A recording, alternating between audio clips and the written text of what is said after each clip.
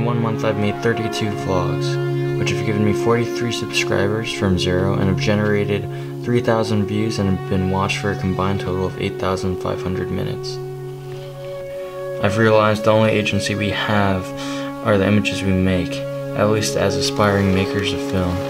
In the same way that a writer has only control of their words, the images we create are what end up representing who we are.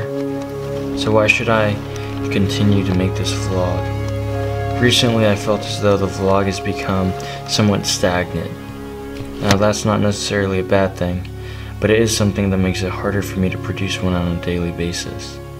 I sometimes have a hard time doing something out of habit or routine, and I believe that these are meant to be disrupted. So that is why, on this day, I am not going to make a typical, not so typical vlog. After going on a drive this morning and thinking more about it, I've decided to make a sitcom. Yes, that is right.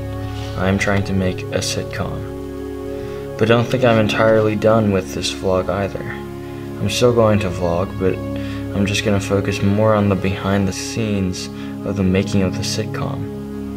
And it starts with my team. River, do you know Tara? Yeah. Yeah. Yeah, this one. Um, and we're going over the pilot episode right now. We're gonna figure out how to make it work. So cut. So okay. So after this little montage of him getting dressed, we're gonna cut back to him. Okay. So now, while you, now while we're doing this, I need to vlog this process. 26 or 27? 26. Uh, 26. Okay. This is um, February 26, 2016. Uh, two, almost two hours into the uh, drafting and finalization of the pilot of the yet to be named sitcom Saturday um, uh, project. Cool. Okay. Hopefully that's enough stuff for the vlog. But do you think it has potential?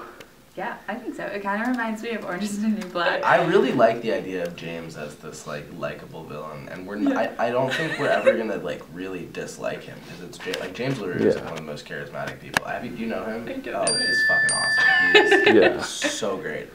I have an amazing experience of getting aggressively fucked up with James at Sasquatch last year. That is one of my most treasured memories.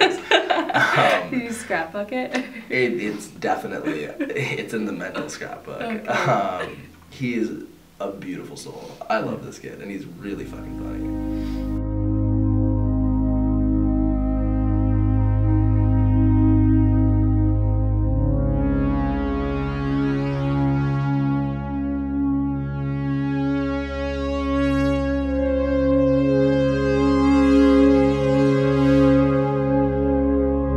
It's just as much you guys at this point. But it was such a good skeleton. Yeah, you gave us a great place to start. Thank you. This is exciting.